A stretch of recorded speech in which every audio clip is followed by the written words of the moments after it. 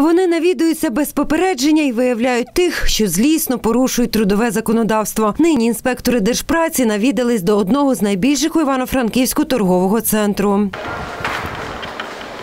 Кожному працівнику закладу, де проходить інспекція, обов'язково потрібно заповнити спеціальну анкету. Вказують е, посаду, на якій працюють, скільки часу, чи вони стажуються, чи е, з ними вкладався трудовий договір, чи не вкладався. У нас є документ, який та як вимога, і на вимогу е, на цю вимогу фізична особа підприємець надає нам перелік документів, в яких вказується, чи ця людина оформлена, чи не оформлена. Якщо ж виявиться, що люди працюють тут нелегально, на власника чекає Роботодавці е, сплачують штраф в розмірі 60 тисяч гривень за одного е, неоформленого працівника.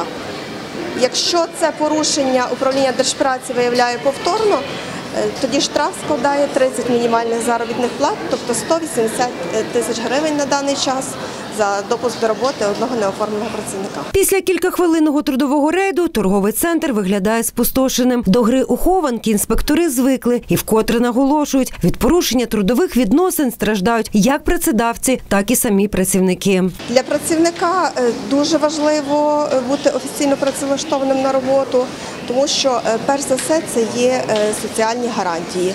Якщо буде працівник офі- офіційно оформлений на роботі, відповідно буде страховий стаж, відповідно буде е, дотримання всіх мінімальних гарантій. Для роботодавця також є багато негативних наслідків використання незадекларованої праці.